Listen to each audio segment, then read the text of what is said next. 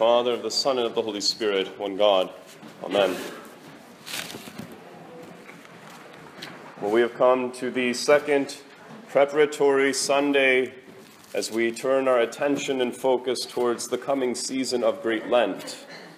And on this Sunday, we have heard our Lord's beautiful parable of the prodigal son, the son who begged his father to give him his share in the possessions that would be his when his father died, essentially telling his father, You're dead to me. I want my inheritance now. And going off into a far country, separating himself from the father, he wasted his living that had been given to him on partying and drinking with women and feasting, and how he was reduced to abject poverty, but thankfully came to his senses and returned to his father, begging forgiveness, and was restored once more as his son. And we see in this parable, as the Holy Fathers have placed it here to help us prepare for the season of Great Lent, we see an image of each and every one of our lives in some way. How we come back to God through repentance and confession. How we take what God has given us, His many blessings, our freedom of will, the image of God that rests within us, all the things in this world that He has created. And we don't want them as His, we want them for ourselves. We want them for our pleasures. We want them to feed our passions. And we depart from Him. We go far off, away from the Father, not far in distance because God is everywhere present and fills all things, but far from Him in our hearts, in our thoughts, in our intentions. And we turn ourselves to sin, and at first it seems like a great time. There's parties and riotous living and feasting. But in time it reveals itself. The curtain is pulled back, and we see it for what it is. It is the famine that befell that young man that famine was there all along. There was just a thin veneer of pleasure wiped over the surface of it to tempt him to give up the great gifts that he had from God and to trade them in for this nothingness of sin. And so he was put to slavery, and so our sins do to us as well. They reduce us to a servile state. But he came to his senses. That's the beautiful, beautiful but in the middle of that. But then he came to his senses. He realized where he was. And he thought about it for a moment. I would be better being a servant in my father's house and having a daily share of bread to eat. Maybe some clean hay in the barn to sleep on. Whatever it is, is better than living here where I am. And so he determines within himself, and he models for us how we ought to return to the Father. He says, I will go back to my Father. I will say to him, Father, I have sinned against heaven and before thee. I am not worthy to be thy son, but please receive me back as a servant in your household. And this, brothers and sisters, this is what we must do as well when we come to our senses. We must make a firm dedication to come to the church to come to the priest who is there to speak the words and be the presence of Christ to us. And we must be willing to confess boldly what we have done. You'll note, my spiritual father always likes to point this out, you'll note that the young man doesn't go, I'll go back to dad and say, you know, I had my problems, you had your problems, you know, it's a little bit of a share on both sides, you know, a little bit of this psychology you know, maybe we can work things out. We'll go on Dr. Phil or something like this and, and, and we'll see if we can straighten things out. No, he takes the blame on himself and he goes to him and he tells him right clearly what he has done. And so too we must do when we go to confession. We clearly explain what it is we have done so that we might receive forgiveness. But what is so beautiful? He's probably shaking in his boots as he goes home just like we sometimes are when we come and we have something big that we need to get off our souls in confession. But the Father, He's not sitting there going, Oh, here comes that scumbag son of mine. He better grovel pretty well for me, or I'm not going to have anything to do with him. No. He's watching, and from afar off, He sees his son coming and breaking with all the conventions of propriety and, and right order, he darts off down the road to grab his son in his arms.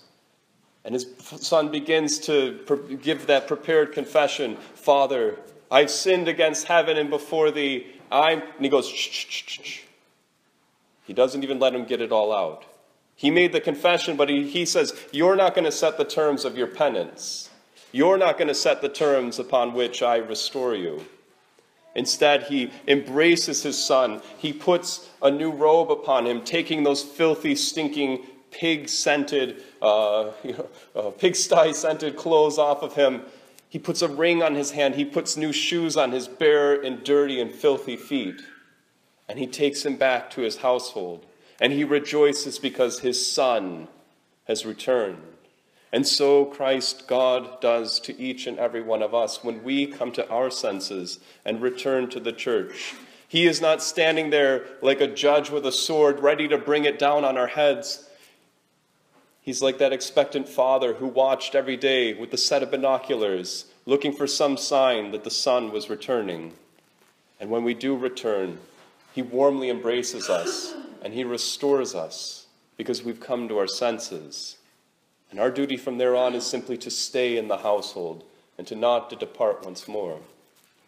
Well, the fathers have put this parable here at the beginning as we prepare for Lent to remind us of this, to give us hope in God's compassion, because perhaps in the last year something has come up that has kept you from going to confession, has kept you from approaching and preparing yourself to approach the holy mysteries. And you're thinking, how can God ever forgive me? At, at best, I can be a servant in his household. I can stand here in the presence of the church, but I can't dare go forward. But he is waiting. He is waiting with open arms to receive you if you will only make a bold confession of what it is you have done. You will hear those same glorious words of repentance and forgiveness, absolution of sins. So the Father's placed this here to prepare us for the great season of the fast.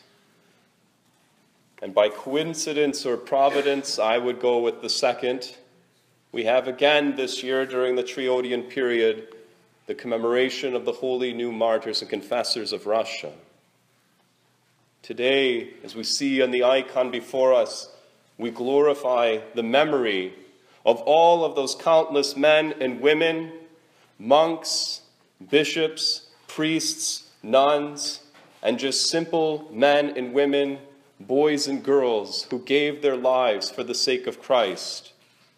When the Bolshevik Revolution took place, that incarnation of the spirit of Antichrist, the philosophy of madness, like hell opening up on earth, and began to wreak havoc against the church.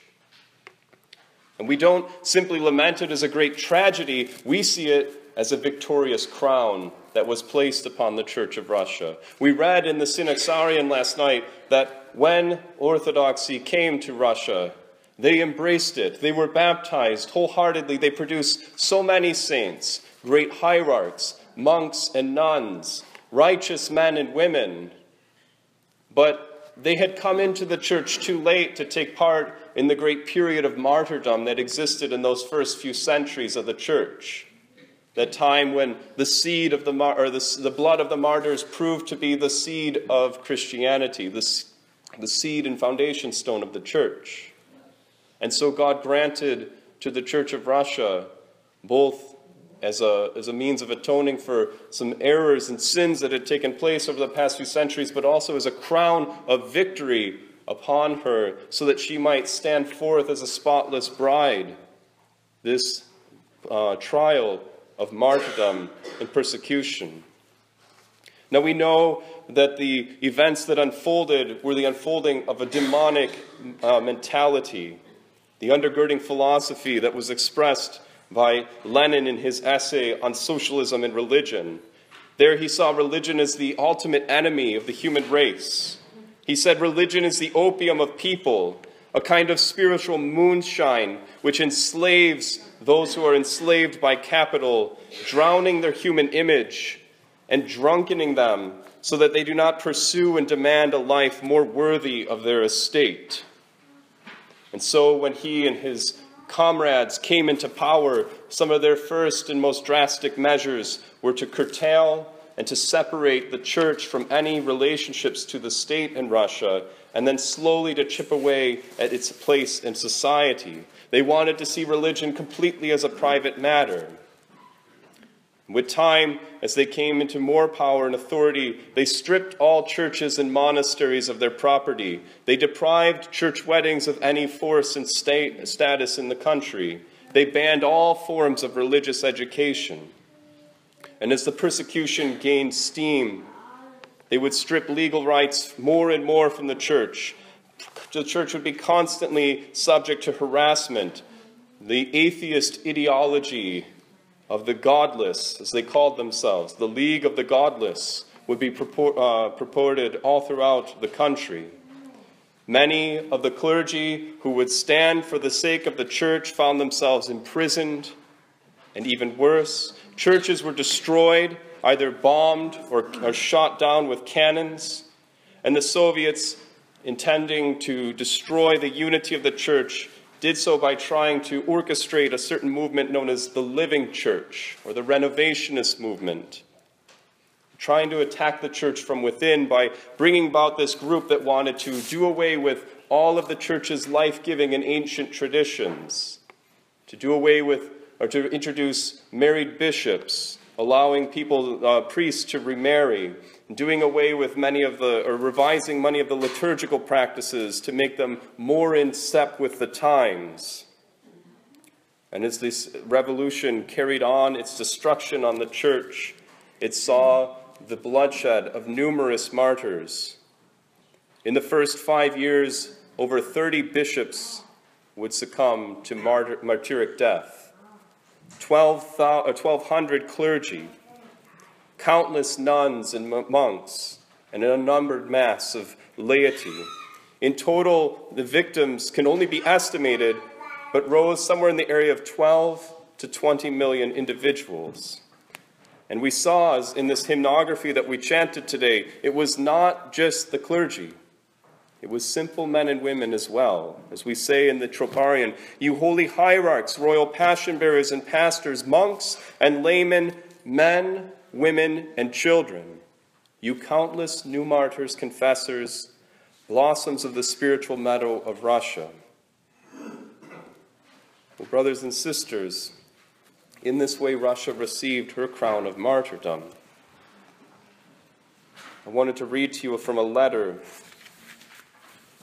of one of the hieromartyrs who suffered in those first few years, the hieromartyr Benjamin of Petrograd. St. Benjamin had tried to defend the church, which at that time in the 1920s, the famine that had taken place throughout the Russian territory had become a pretense for the Soviets to begin calling for people to confiscate all of the properties with it, or all of the, um, the, the, utensils and adornments of the churches to sell them for money to uh, purchase food with. And we know that this famine was in many ways orchestrated and simply used to shake the people so that they would turn against the church. And the church, in many cases, said they were more than willing, St. Benjamin among them, they were more than willing to see for the provision of the people, so long as these items that were confiscated from the churches didn't simply go into the coffers of the Soviets. And so he was eventually, because of his opposition to their, mo- their movement, he was eventually arrested and tried and he wrote in just a few days before his own execution to many of the priests in his diocese a letter. And in it he said the following When I was a young man, I would often read the lives of the saints and admired their heroism and their struggle. From the depths of my soul, I regretted that I did not live in such times and was not able to experience what they did. Well, the times have changed now and new opportunities to struggle for the sake of Christ have appeared. It is difficult, hard to suffer, because, but according to the measure of my sufferings, consolation abounds to me from God. Now it seems I have to go through everything prison, trial, public mockery, cries for my death, as if, I, as if the people applauded it. the ingratitude of men, their betrayal, inconstancy, and many similar things, anxiety and responsibility for the fate of others, even for the church herself. Well, brothers and sisters, this is what unfolded over the last century in the Church of Russia. But Elder Ignatius of Harbin in Manchuria, a hieroschemamonk, once prophesied in the 1930s these following words What began in Russia will end in America. What began in Russia will end in America. Now, you might say to yourself, Father, how could this be? We don't see these sorts of things taking place in our country. There are no calls for the closure of churches. There are no children being taken from home simply because their parents were teaching them the scriptures and the lives of the saints. We don't see such rabid attacks on the church in, in, in these legal settings. But I would say that the way it is unfolding in our nation is more subtle, more concealed. You see, under the philosophy of socialism, there's been noted to be four prevailing principles.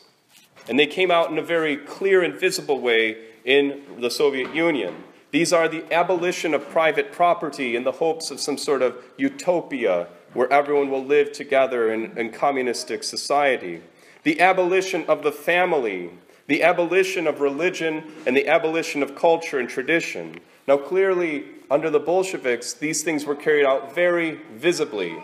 You abolished religion by trying to blow the church up. You abolished the family by taking away the legal status of the husband and the wife. You abolished private property by uh, you know, repossessing property and redistributing it.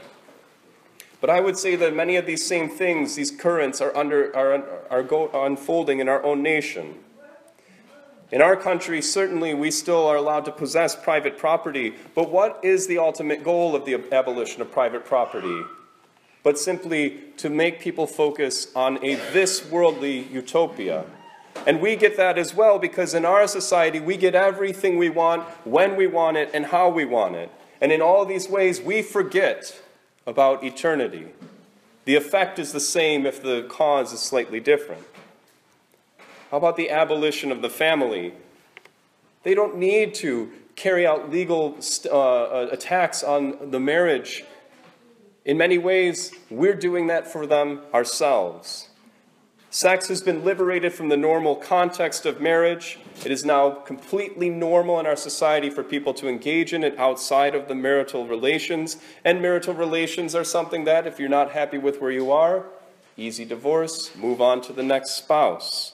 And in so many ways, we're seeing this, this institution of the family assaulted, mocked in our media, mocked in our, in our own um, private conversations. And we spoke a couple weeks ago about the scourge of abortion as a means of de dealing with unwanted children. The abolition of the family is firmly underway. How about the abolition of religion? Once again, there's no need to destroy the church when all you have to do is create the idea that religion is simply a matter of private concern. It has no bearing on the society outside of the four walls of this building. It shouldn't infect our education. It shouldn't infect our decisions in society. It shouldn't even infect our conversations at Starbucks. Religious education and other expressions are removed from the schools. I remember as a high schooler running a Bible study in a prayer group in the, in the school I went to. And I knew the laws because I wanted to make sure I wasn't, you know, overstepping anything. And regularly, regularly having school officials taking down our posters, refusing to make our announcements, removing us from the yearbook, all sorts of things that no other group had to go through.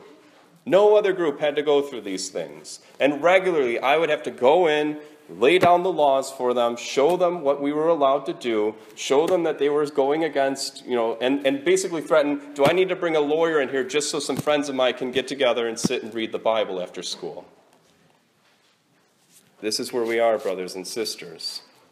Furthermore, when religion becomes just one activity among others, You don't need to shoot a cannon at a church when all you have to do is schedule a football game, a Boy Scout or Girl Scouts meeting, a dance or something else, even just a good sale at the mall on a Sunday. People won't show up. How many people do you think across our country today are not in church because they're getting food ready for a special game tonight? You might think about that. Further, the Soviets, in pushing their cause for the renovationist movement of the living church in their day to call for the changes of so many traditions of the church, we don't need them from the outside to do that. We have our so called Orthodox academics in our country that are calling for the abolition of so many aspects of our life giving tradition in the church so that we can be in step with the times embracing homosexuality, embracing you know, serial monogamy, embracing so many other things. No, brothers and sisters, we can't accept this. And finally, the abolition of culture and tradition. Is there any culture in the world around us? There's a collective mass of habits and maybe musics and things that we listen to, but can we actually call this culture? Does it produce any life? That's what the word culture comes from. It's the same root where we get agriculture. It's something that's supposed to cultivate life. Is there a culture out there? I would dare say no. So, brothers and sisters, then, as we look to the models of those holy new martyrs and confessors who suffered in Russia, we can see that theirs was a much more clear and explicit persecution, a clear and explicit attack on the faith of Christianity. But we need to wake up and see what is going on around us and respond to it. Doesn't mean that we have to take to the streets and activism or revolution. We just need to see its effects on ourselves and reject them. We need to dedicate ourselves all the more to our attendance in the church, to our attendance to our prayers, to our attendance to our asceticism, to our attendance to the, to the lives of the saints, so that we learn the true culture, not that which is foisted on us by the world around us. That we learn from them what it looks like to be a husband, a wife, a mother, a father, a son, a daughter, a brother and sister, not from the television and the images that are around us. And if we will do this, then we too will be living as confessors of the faith. The confessors are those who lived in adverse circumstances and suffered, but did not have to shed their blood for the sake of the church, but did so to continually confess in their life and in their words the faith of the church. And so, brothers and sisters, we are called also to be new confessors of the faith. New confessors of the faith in the face of the oppositions that we face. Don't let yourself be lulled to sleep by the temptations of this world. Don't let yourself simply drift down the rivers of apostasy that we see around us. What began in Russia will end in America, but we can stand against that. Amen.